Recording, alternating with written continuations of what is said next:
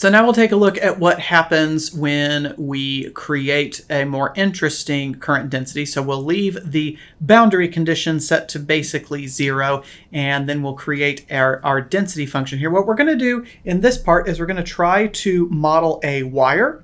So basically we would like to create the current density for a wire where the current is flowing up along the y-axis. So we're only getting a value along the y-axis, not along the x-axis. And we wanted to move up the center of the square. So basically, we're giving the wire a certain radius. If we are inside that radius, then we have this current density. If we're outside the radius, then we have zero current density.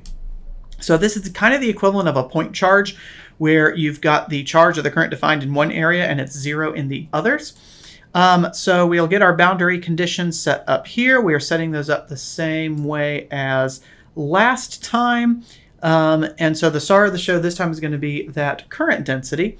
Um, in this case, I'm setting my target to be an absolute 10 to the minus 3 just because uh, it doesn't make sense to scale it by the problem if they're starting out as zeros, right?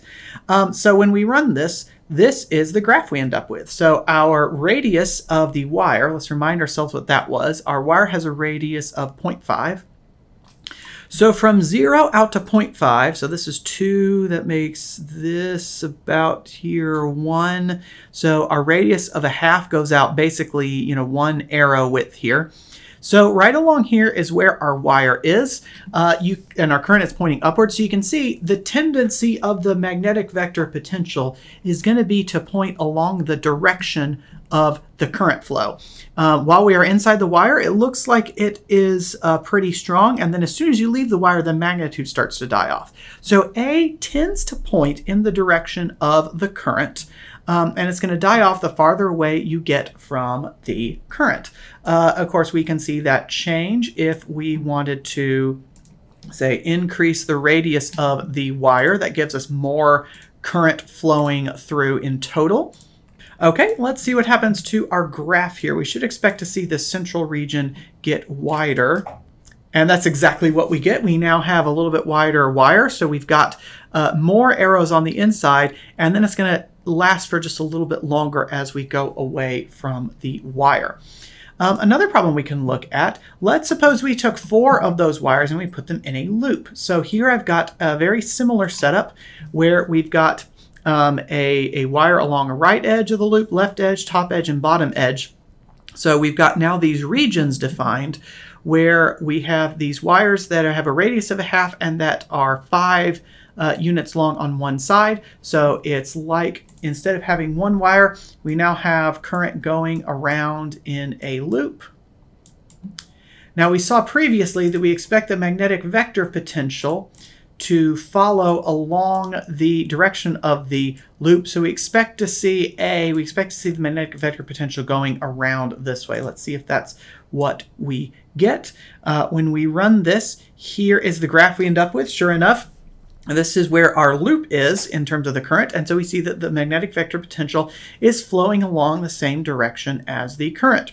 And of course, when we leave the wire, it tends to get weaker. It gets weaker as well on the inside, uh, so we get these shorter arrows here and the longest arrows here on the inside of the loop.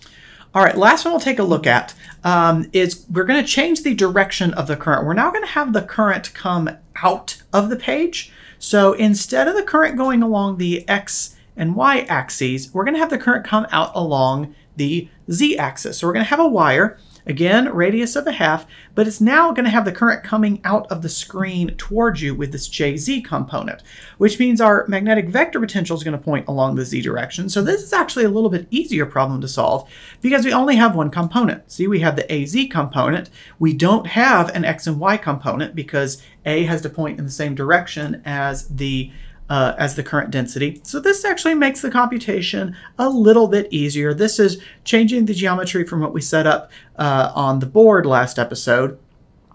And what you end up with is this diagram for the AZ. So remember, this is now showing you AZ. So the stronger this is, the more magnetic vector potential is pointing out towards you. The weaker it is, the less magnetic vector potential there is pointing out towards you. Here's what it looks like overhead. You can see it forms this nice little circle around the wire. So remember, our wire has a radius of a half, so that's coming out to here. So that's really where it starts to die off is right at the one half mark uh, away from the center. So I hope that's helpful to you in terms of visualizing the magnetic vector potential. I know that's often a challenge for students is visualizing this weird field. Uh, next time what we'll do is look at how we turn this magnetic vector potential into the magnetic field.